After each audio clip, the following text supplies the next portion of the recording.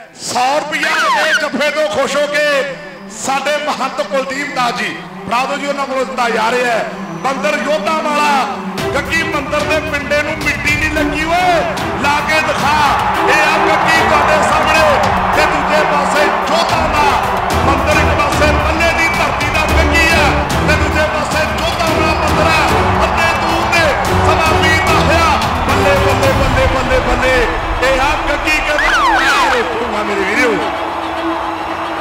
Lavatim Pendrera un metí, Sanduá.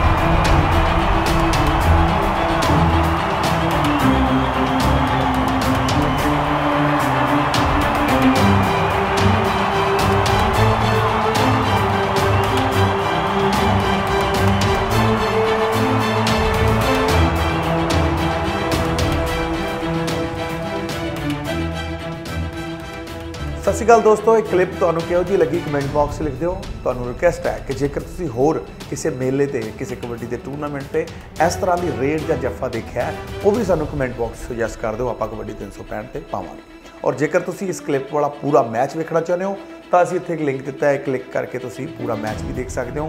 ਸਾਡੇ YouTube ਦੇ channel ਨੂੰ ਸਬਸਕ੍ਰਾਈਬ ਵੀ ਜ਼ਰੂਰ ਕਰ ਲਓ। ਥੰਬਸ ਅਪ ਦਾ ਬਟਨ ਕਲਿੱਕ ਕਰ ਦਿਓ ਤੇ ਜਾਂਦੇ ਜਾਂਦੇ ਇਸ ਕਲਿੱਪ ਨੂੰ ਆਪਣੇ ਦੋਸਤਾਂ ਮਿੱਤਰਾਂ ਨੂੰ WhatsApp ਦੇ ਜ਼ਰੀਏ ਫੇਸਬੁੱਕ ਦੇ ਜ਼ਰੀਏ ਜਾਂ ਫਿਰ ਮੈਸੇਜ ਕਰਕੇ ਸ਼ੇਅਰ ਕਰ ਦਿਓ। ਤੁਹਾਡਾ ਸਾਰਿਆਂ ਦਾ ਬਹੁਤ ਬਹੁਤ ਧੰਨਵਾਦ।